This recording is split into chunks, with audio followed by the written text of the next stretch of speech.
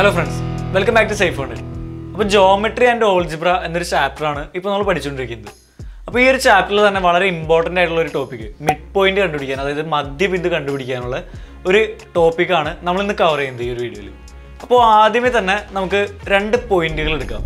ഒരു point x one y one ആണ്. മറ്റൊരു point x two y two ആണ്. അപ്പോൾ എക്സ് വൺ വൈ വൺ എന്ന പോയിന്റും എക്സ് ടു വൈ ടു എന്ന പോയിന്റും ജോയിൻ ചെയ്തിട്ട് കിട്ടുന്ന ലൈനിന്റെ മിഡ് പോയിന്റ് അതായത് അതിന്റെ മധ്യബിന്ദു എന്ന് പറയുന്നതിന്റെ എക്സ് കോർഡിനേറ്റ് അതായത് ഇപ്പോൾ ഈ മധ്യബിന്ദുവിന്റെ എക്സ് കോർഡിനേറ്റ് എന്ന് പറയുന്നത് x one plus x two by two ആണ്. അതേപോലെ തന്നെ അതിന്റെ വൈ കോർഡിനേറ്റ് എന്ന് പറയുന്നത് y one plus y two by two ആണ്. അപ്പോൾ ആ നടുക്കിലത്തെ പോയിന്റിന്റെ അത് ആ മധ്യബിന്ദുവിന്റെ കോർഡിനേറ്റ്സ് എന്ന് പറയുന്നത് എന്താണ്? X one plus x two by two y one plus y two by two അപ്പോൾ അതാണ് അതിന്റെ കോർഡിനേറ്റ്സ് എന്ന് പറയുന്നത്. അപ്പോൾ ഇനി നമുക്ക് ഈ ഒരു കാര്യം മനസ്സിലാക്കാൻ വേണ്ടി കുറച്ച് പ്രോബ്ലംസ് ചെയ്ത് നോക്കാം. അപ്പോൾ അതിന് നമുക്ക് എക്സാമ്പിൾ ആയിട്ട് വൺ ത്രീയും ത്രീ ഫൈവും എന്ന രണ്ട് പോയിന്റുകൾ എടുക്കാം ഈ രണ്ട് പോയിന്റുകളും ജോയിൻ ചെയ്ത് കിട്ടുന്ന ലൈനിന്റെ മിഡ് പോയിന്റ് നമുക്കൊന്ന് കണ്ടുപിടിച്ച് നോക്കാം. അപ്പോൾ ഇതിനകത്ത് എക്സ് വൺ വൈ വൺ ഏതാണ്? വൺ ത്രീ ആണ്. X two y two three five ആണ്. അപ്പോൾ നമ്മുടെ മിഡ് പോയിന്റിന്റെ കോർഡിനേറ്റ്സ് എന്ന് പറയുന്നത് എന്താണ്? മധ്യബിന്ദുവിന്റെ കോർഡിനേറ്റ്സ് എന്ന് പറയുന്നത് x one plus x two by two y one plus y two by two ആണ്. അപ്പോൾ നമ്മുടെ എക്സ് വൺ എന്ന് പറയുന്നത് വൺ ആണ്. എക്സ് ടു എന്ന് പറയുന്നത് ത്രീ ആണ്. വൈ വൺ എന്ന് പറയുന്നത് എന്താണ്? ത്രീ ആണ്. അതുപോലെ തന്നെ വൈ ടു എന്ന് പറയുന്നത് ഫൈവ് ആണ്. അപ്പോൾ നമുക്ക് ഇനി ആ വാല്യൂസ് ഒന്ന് സബ്സ്റ്റിറ്റ്യൂട്ട് ചെയ്യാം. അപ്പോൾ നമ്മുടെ മിഡ് പോയിന്റ് എന്ന് പറയുന്നത് one plus three by two three plus five by two അതായത് ടു ഫോർ ആണ് നമ്മുടെ മിഡ് പോയിന്റ് എന്ന് പറയുന്നത്. അപ്പോൾ ഈ രണ്ട് പോയിന്റുകളും ജോയിൻ ചെയ്യുമ്പോൾ കിട്ടുന്ന ലൈനിന്റെ മിഡ് പോയിന്റിന്റെ കോർഡിനേറ്റ്സ് കിട്ടിക്കഴിഞ്ഞു. ഇനി ഇതുപോലെ ഏത് ലൈനുകൾ തന്നാലും അതിന്റെ മിഡ് പോയിന്റ് കണ്ടുപിടിക്കാൻ നമുക്ക് ഈ ഫോർമുല യൂസ് ചെയ്യാവുന്നതാണ്. ഇനി നമുക്ക് ഒരു പ്രോബ്ലം കൂടെ ചെയ്തു നോക്കാം. അപ്പോൾ ഈ ഒരു പ്രോബ്ലത്തിന് ഒരു പ്രത്യേകത ഉണ്ട്. അതായത് ഇപ്പോൾ നിങ്ങളായാലും എക്സാമിന് പ്രോബ്ലംസ് വരുമ്പോൾ നിങ്ങൾ ശ്രദ്ധിച്ചിട്ടുണ്ട്.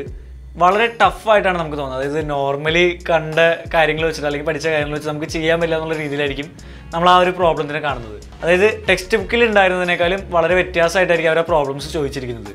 അതായത് അവതരിപ്പിച്ചിരിക്കുന്നത്. അപ്പോൾ നിങ്ങൾ പഠിച്ച അതേ സെയിം കൺസെപ്റ്റുകൾ തന്നെയായിരിക്കും ഈ ഒരു പ്രോബ്ലം സോൾവ് ചെയ്യാൻ യൂസ് ചെയ്യുന്നത്. പക്ഷേ എന്നാൽ നിങ്ങൾക്കത് മനസ്സിലാവാത്ത രീതിയിൽ മറിച്ചും തിരിച്ചൊക്കെ ആയിരിക്കും അവർ ആ ക്വസ്റ്റ്യൻ ചോദിച്ചിരിക്കുന്നത്. അപ്പോൾ അതേപോലെ തന്നെ ഒരു ക്വസ്റ്റ്യൻ ആണ് ഇനി നമ്മൾ പറയാൻ പോകുന്നത്. അപ്പോൾ ഇങ്ങനെയുള്ള ക്വസ്റ്റ്യൻസ് വരുന്ന സമയത്ത് നിങ്ങൾ പേടിച്ച് ചെയ്യാതെ മാറി നിൽക്കാതെ ഒന്ന് ട്രൈ ചെയ്ത് നോക്കുക. നമുക്കത് സോൾവ് ചെയ്യാൻ പറ്റുന്നു. കാരണം നമ്മൾ പഠിച്ച കാര്യങ്ങളിൽ വിട്ടിട്ട് ഒന്നും നിങ്ങളോട് ചോദിക്കുന്നില്ല. അപ്പോൾ ഈ ഒരു പ്രോബ്ലം അങ്ങനത്തെയാണ്. അപ്പോൾ ആ പ്രോബ്ലം ഞാനൊന്ന് വായിക്കാം. A circle is drawn with line joining two three and six five as diameter what are the coordinates of the centre of the circle അതായത് ഒരു വൃത്തം നമ്മൾ വരച്ചിരിക്കുകയാണ്. ടു ത്രീ എന്ന പോയിന്റും സിക്സ് ഫൈവ് എന്ന പോയിന്റും ജോയിൻ ചെയ്ത് കഴിഞ്ഞാൽ ഈ വൃത്തത്തിന്റെ ഡയമീറ്റർ അതായത് വ്യാസം നമുക്ക് കിട്ടും. അങ്ങനെയാണെങ്കിൽ ഈ സർക്കിളിന്റെ സെന്ററിന്റെ കോർഡിനേറ്റ്സ് എന്താണെന്നാണ് ചോദിച്ചിരിക്കുന്നത്. അപ്പോൾ ഈ ഒരു പ്രോബ്ലം എന്ന് പറയുന്നത് നമുക്ക് കുറച്ച് ബുദ്ധിമുട്ടായിട്ട് തോന്നാം. കേൾക്കുമ്പോൾ ബുദ്ധിമുട്ടായിട്ട് തോന്നാം. പക്ഷേ നിങ്ങളൊന്ന് ആലോചിച്ച് നോക്കി അതായത് ഒരു സർക്കിൾ തന്നിരിക്കുന്നു. ആ സർക്കിളിന്റെ ഡയമീറ്റർ ആയിട്ടുള്ള ഒരു ലൈൻ തന്നിരിക്കുന്നു. ആ ഡയമീറ്ററിന്റെ രണ്ട് അറ്റങ്ങൾ നമുക്ക് തന്നിട്ടുണ്ട്. നമ്മളോട് എന്താണ് പറഞ്ഞിരിക്കുന്നത്? ഈ സർക്കിളിന്റെ സെന്ററിന്റെ കോർഡിനേറ്റ്സ് കണ്ടുപിടിക്കാനാണ്. അപ്പോൾ അതിനെന്താണ് ഏറ്റവും എളുപ്പ വഴി നമ്മുടെ ഈ സർക്കിളിന്റെ സെന്ററിന്റെ കോർഡിനേറ്റ്സ് കണ്ടുപിടിക്കണമെങ്കിൽ നമുക്ക് ഓൾറെഡി ഒരു ഡയമീറ്റർ ആണ് തന്നിരിക്കുന്നത്. അപ്പോൾ ഈ വ്യാസമാണ് തന്നിരിക്കുന്നത്. ഈ വ്യാസത്തിന്റെ പകുതി എന്ന് പറയുന്നത് എന്താണ്? റേഡിയസ് ആണ്. അപ്പോൾ ഈ വ്യാസത്തിന്റെ മധ്യബിന്ദു എന്ന് പറയുന്നത് എന്തായിരിക്കും? നമ്മുടെ സർക്കിളിന്റെ സെന്റർ കൂടിയാണ്. അപ്പോൾ ഈ വ്യാസത്തിന്റെ മധ്യബിന്ദു മാത്രം നമുക്ക് കണ്ടുപിടിച്ചാൽ പോരെ. അതായത് ഈ വ്യാസത്തിന്റെ മിഡ് പോയിന്റ് മാത്രം നമുക്ക് കണ്ടുപിടിച്ചാൽ പോരെ. അപ്പോൾ ഈ വ്യാസത്തിന്റെ മിഡ് പോയിന്റ് നമുക്ക് കണ്ടുപിടിക്കാം. അപ്പോൾ നമുക്ക് വ്യാസം തന്നിട്ടുണ്ട്. വ്യാസത്തിന്റെ രണ്ടറ്റത്തെയും പോയിന്റ്സ് തന്നിട്ടുണ്ട്. അപ്പോൾ ആ രണ്ട് പോയിന്റ്സ് ടു ത്രീയും സിക്സ് ഫൈവ് ആണ്. അപ്പോൾ ഈ ഒരു രണ്ട് പോയിന്റ്സിനെ നമുക്ക് എക്സ് വൺ വൈ വണ്ണും എക്സ് ടു വൈ ടു ആയിട്ട് എടുക്കാം. അപ്പോൾ മിഡ് പോയിന്റ് എന്ന് പറയുന്നത് അതായത് മിഡ് പോയിന്റ് കാണാൻ നമ്മൾ ഓൾറെഡി ഒരു മെത്തേഡ് യൂസ് ചെയ്തിരുന്നു. അപ്പോൾ മിഡ് പോയിന്റ് എന്ന് പറയുന്നത് x one plus x two by two y one plus y two by two അതാണ് നമ്മുടെ മിഡ് പോയിന്റ് എന്ന് പറയുന്നത്. അപ്പോൾ two plus six by two five plus three by two അതായത് eight by two eight by two ആണ് നമ്മുടെ mid point എന്ന് പറയുന്നത്. അതായത് ഫോർ ഫോർ ആണ് നമ്മുടെ മിഡ് പോയിന്റ് എന്ന് പറയുന്നത്. അപ്പോൾ ആ ഒരു സർക്കിളിന്റെ സെന്റർ എന്ന് പറയുന്നത് എന്താണ്?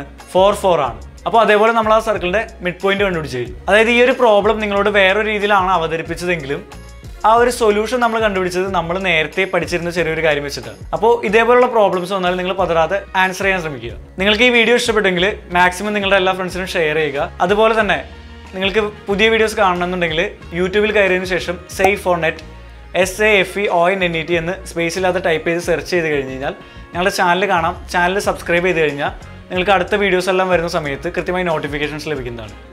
താങ്ക്